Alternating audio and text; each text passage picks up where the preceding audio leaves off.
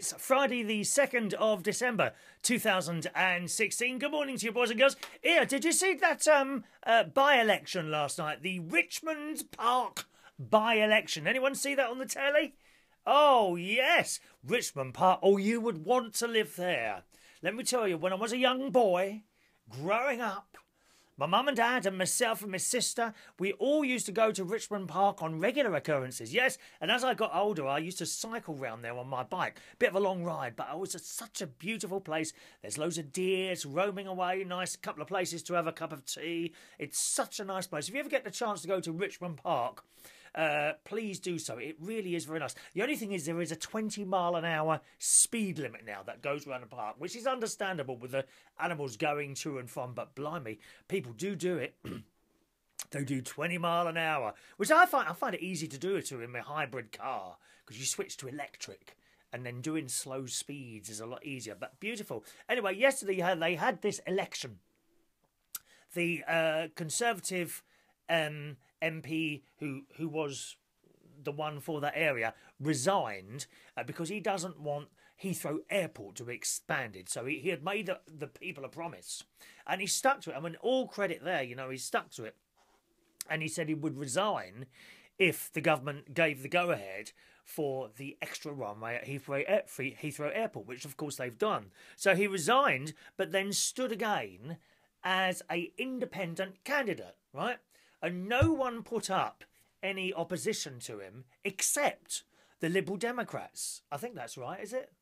Or no, there might have been another cut. Was there another one? Or I might have that wrong. No, that's right. The Conservatives didn't put up a another person against him. So he, if if if he had won again, he would have won as an independent. And I think he was quite um, uh, thinking to himself that he would easily get it back. Well, he didn't. He didn't, and the Liberal Democrat woman won. Well done. Well done, dear. But I'm looking at I'm looking at these pictures. What a lot of teeth you've got, my dear. Look, hasn't she got an awful lot of teeth? Go and look her up. Bless her heart. Nothing wrong with having a lot of teeth. I used to have teeth like this. I did. If only I could find a little photograph of myself with my buck teeth, which people used to call me that at work, buck teeth.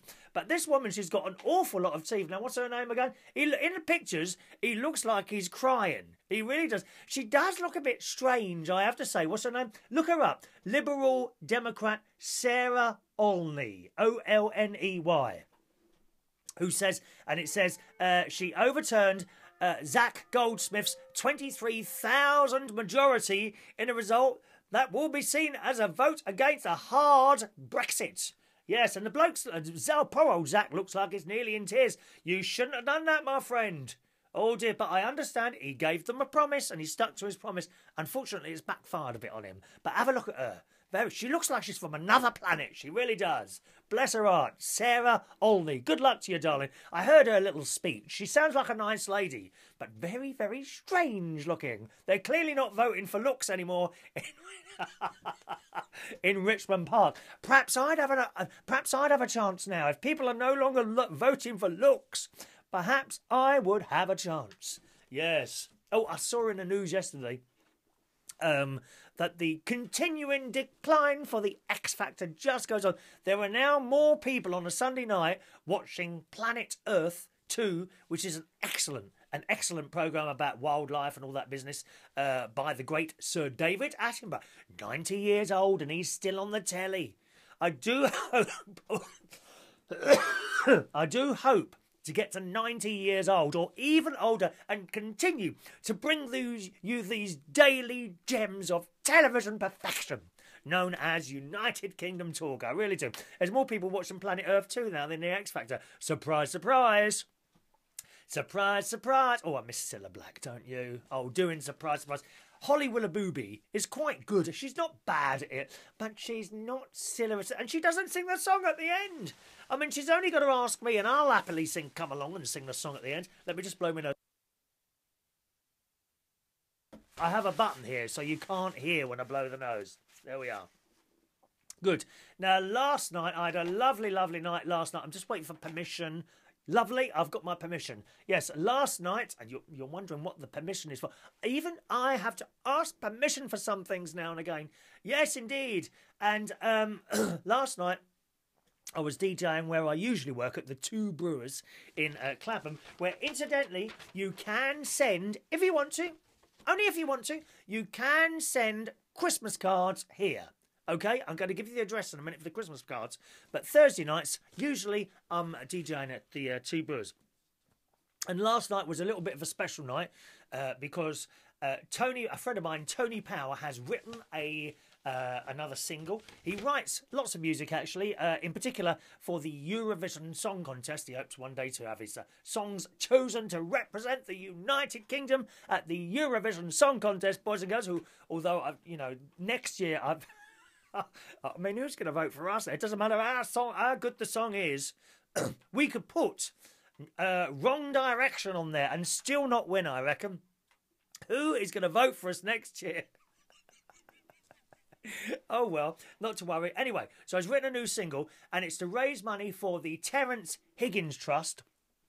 Now, they are an organisation, they've been around for years, and they help people with HIV and AIDS. Now, just a little, just in case you didn't know, just because if you've got HIV, it doesn't necessarily mean you're going to get AIDS. Certainly not in this day and age. Okay, there are pills.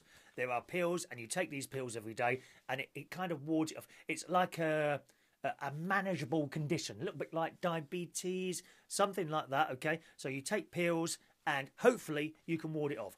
Not 100% of the time, but you know, quite close. It's quite close. As long as you take the pills on time and all that, very, very important. So the Terrence Higgins Trust help people with HIV and AIDS, and that's what he was raising money for last night. Uh, we raised £730 in a pub simply by selling his CD, okay, as sung by the wonderful drag queen extraordinaire, the wonderful Miss Jason, who's busy, busy, busy. She is so busy and a wonderful, wonderful, wonderful person. I always enjoy working with Miss Jason, and we have a little bit of a laugh in the dressing room and on stage as well. And i I'm going to play you a little bit of the music in a minute. And uh, Tony just says uh, I can uh, play it there. Uh, such a wonderful night was held, had by all at the Two Brewers last night. Thanks so much to everyone who came to support Miss Jason and the launch of the single. And of course, big thanks to all who contributed to making it a great success by raising £730 for the Terrence Higgins Trust. So that is fantastic. And uh, here is a little bit of Tony's single, which you can get on the. Um, on the iTunes, I believe. Now it's called. Right, let me get. Let me just get the title up because I'm going to play it from his. Oh, where's that gone? Oh, don't say I can't find it now. Oh, there it is. There it is. Now this is available on iTunes. It's by Miss Jason, and it's called "Hold On to Your Dream." I'll just show that it's on iTunes, isn't it? there we are. It's on. Uh, actually, I wonder if he could. Would, do you want to? Uh, do you want to? Shall we talk to him? Let's see if we can talk to him. Let's see if we can get him up on the line.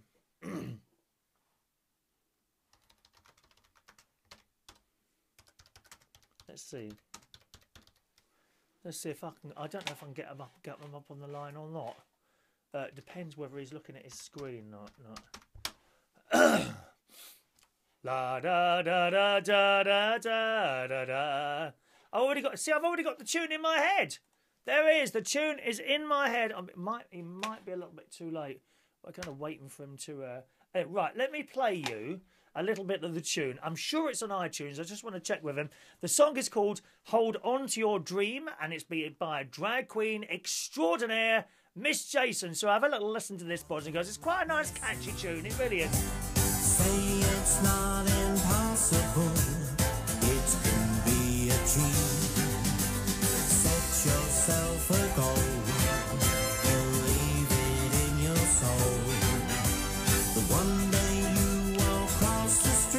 nice, isn't it? Nice and catchy, boys and girls. Here we go.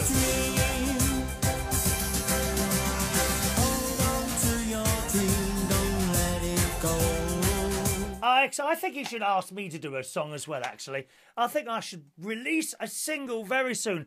Anyway, so I've shoved uh, our phone number over to him. Hopefully, he might ring before the end of our little recording today, boys and girls. But if not, you know where to get that, okay? I'm sure it's on iTunes. It's called Hold On to Your Dream. And the artist you're looking for there is Miss Jason. Wonderful way to uh, raise money. Thank you very much for that, Tony. Um, we've had an email in, boys and girls, from Simon Keane. Simon Keane. Actually, it's not an email, it's a little status that I stole, boys and girls, off his little Facebook uh, uh, thing the other day, which he wrote on the 25th of uh, last month. And he says, Are you taking the. If. If.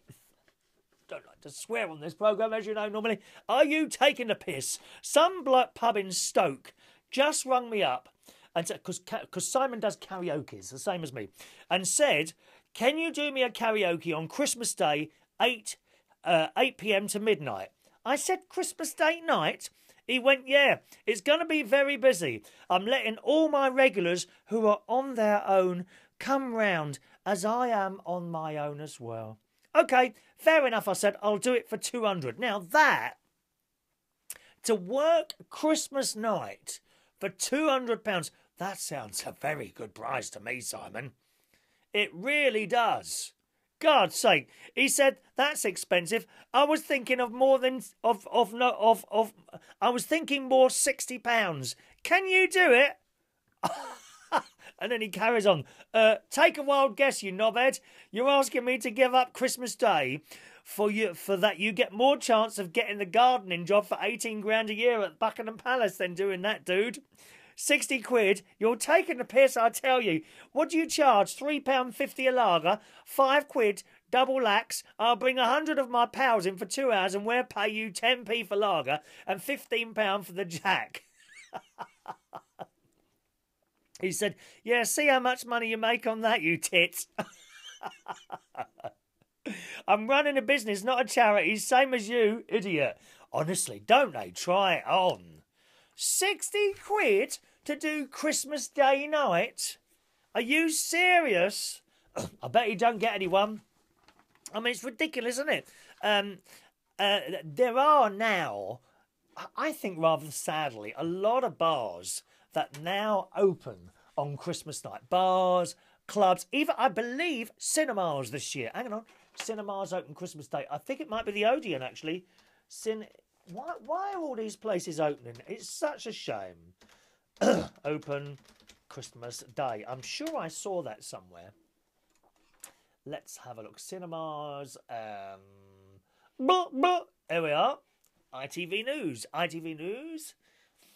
Uh, cinema opening on a cinema. Oh, it's only one in Birmingham has been criticised for its decision to open on Christmas Day. The Birmingham Odeon will be among cinemas open. Oh, there are some more. Now, what's the other ones then? See, some of the Odeon's ones. Odeon says cinemas will only open Christmas Day if the team in each cinema elects to do so. So, I mean, you've, you've, you've got to say, yes, yes, please, let's open Christmas Day. I wonder how much money they get. You've got to be on times three on Christmas Day, haven't you? Surely. Minimum. It's like this gig you were doing. I mean, £500 seems quite reasonable to to, to, to a karaoke on Christmas Day, but I wouldn't do it. Now, that's not to say I haven't worked on Christmas Day because I have before. I used to quite enjoy it. Uh, I worked at British Telecom. Christmas Day when I was doing directory inquiries. Good afternoon, London Directory. Can I help you? That's what we. That's what I used to do. Yeah, directory inquiries. What number are you looking for, please? What's the name, please? And I used to put on all these different voices because it was really boring. My God, it was boring sitting there all day long looking up phone numbers for people who are too lazy to do it themselves. So, uh, so I did that, and I also actually worked. Uh, I did a couple of. Was it? I might have just done it once. DJ'd on Christmas night. Yes, and the bloke there, who I get on very well with, but the. it was the bloke who ran the Black Cap. His name will not be mentioned, Jimmy Smith. Uh, and I'll never forget, it was me that suggested to him, shall we open Christmas Day? And he, he wasn't too keen on the idea. And a little bit later, he come back and he says, "Oh, you mentioned Christmas Day." I said, "Yeah." He said, "Well, I'm thinking of doing it, but..." And he then put his head uh, hand on my shoulder, right, like that. He put his hand on my shoulder. He said, "But we're going to open it. And he looked into my eyes with like sad eyes. We're going to open it for the people that have got nowhere to go before you give me the price. I said, oh, do leave it out, will you, Jimmy? For God's sake, man. similar circumstance to you, similar circumstance. So it's up to you what you do, Simon. But 60 quid, I would not. That, that's outrageous, isn't it? Absolutely outrageous. Thank you, Simon. Very busy uh, yesterday. I have now booked my little caravan for my Christmas stay near my sister's. I'm very pleased to say the caravan because I'm a big, big fan of caravans. I absolutely love caravans. You want to go on holiday? No need to get on a plane. No need to be queuing up at airports through security, having your bag searched, getting touched up. Oh, actually, that's the point. I do miss that. I do miss being touched up by the security staff. Oh, it's so nice. Sometimes, sometimes. I'm pushing the boat here, boys and girls. I may be about to cross the line of decency. Are you ready? Sometimes I put a hard object in my pocket just to see if they notice. I really do. Excuse me, sir. Oh, oh, what are you carrying there? Don't know. Put your hand in my pocket and find out, big boy. so I do miss that part of it. I certainly don't miss flying. I hate it. I hate. I'm sure I'll go somewhere soon, you know, on a plane or something. Um, but I absolutely detest flying, and that's even in the posh seats. Even in the posh seats, I, I just hate it. Uh, caravan, you put your bag in your car, off you go, you get it out the other, and you're there. And there's hundreds and hundreds of places in the UK to go on caravan holidays. This particular place I'll be staying at is Tattershall Lakes, where I've stayed before. it's about 10 minutes' drive from my sister's house. Now, you're probably thinking, why doesn't he stay with his sister? My sister has got dogs and cats. She hasn't got a cat. And oh, little cat died this week. Peach is the cat. Oh, lovely little cat it was. Didn't like me at first, but I got on with it in its later years. Uh, isn't it funny how some animals don't like you? Have you noticed that? Some animals do, some animals don't. This one didn't. My mum's dog didn't like me. Never got on with that either. That was a King Charles Cavalier. She loved that dog but didn't like me. Used to used to growl as soon as I went near to it. Probably, perhaps it thought I was going to eat it or something like that.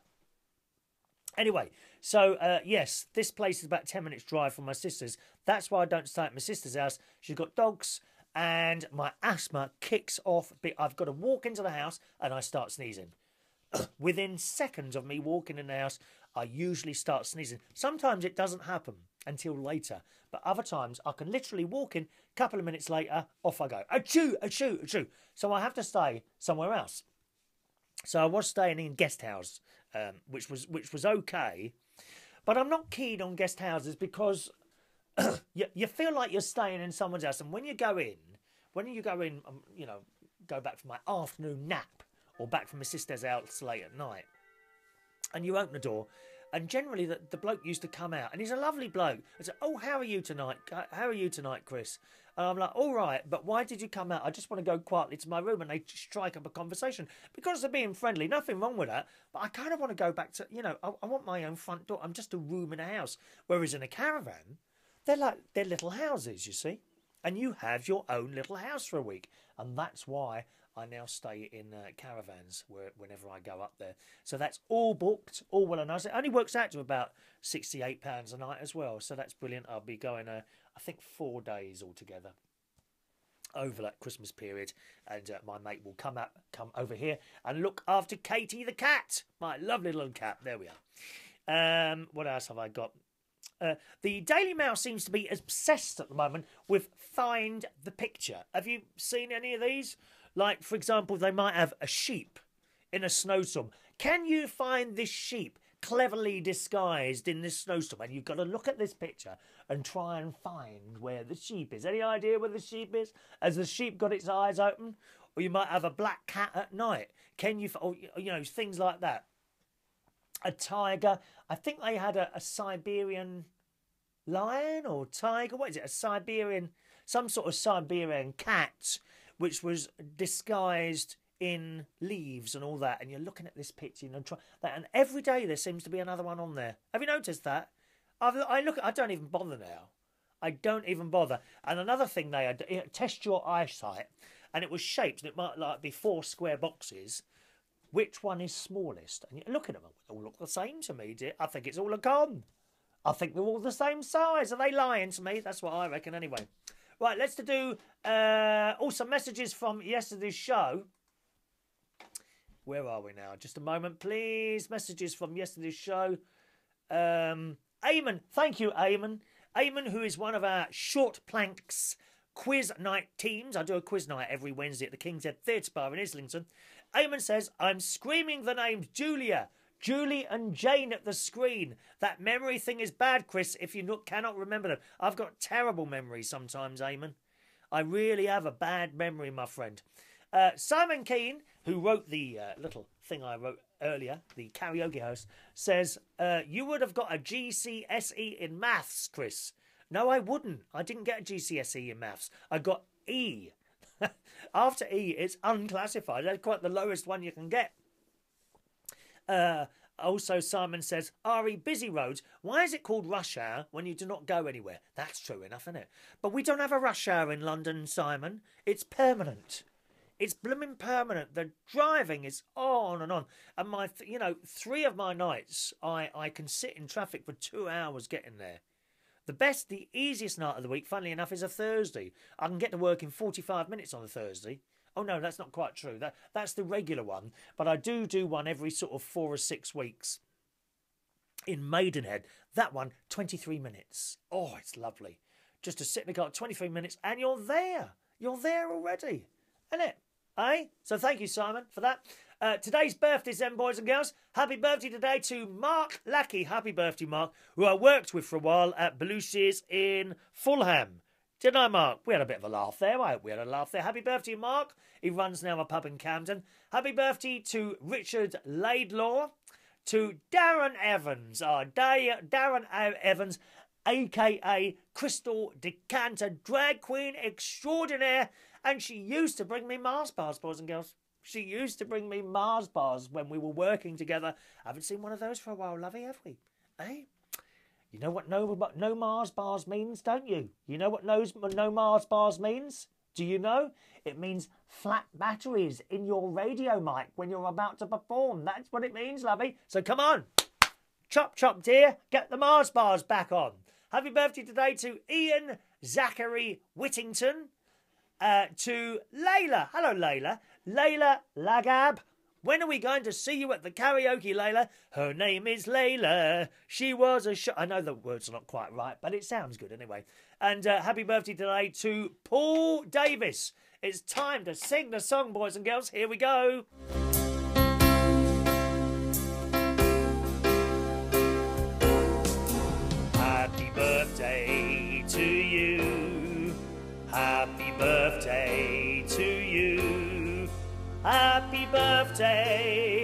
Happy birthday, happy birthday to you. All right, my darlings, have a lovely birthday, boys and girls, and don't forget, raise some money for the Terrence Higgins Trust by purchasing on iTunes the song by Miss Jason and Hold On to Your Dream, okay? Uh, being a Friday, sorry, I've got itchy eyes suddenly. I think I've got something in my eye. Never mind. I'll try and pluck it out later. Maybe because I perhaps I could just take my eye out and wash it under the tap, like some people do with their teeth. Oh, how awful! It's a Friday night, so tonight I'll be hosting karaoke, boys and girls. Karaoke tonight at Central Station in Wharfdale Road, King's Cross. Starts at 8.30, finishes at midnight, okay? Very, very busy night. Once again, karaoke tonight. Join me and uh, everyone else at Central Station in Wharfdale Road, King's Cross, Friday night between 8.30 and 12 midnight. Apart from that, have a lovely Friday. Thanks for watching and listening.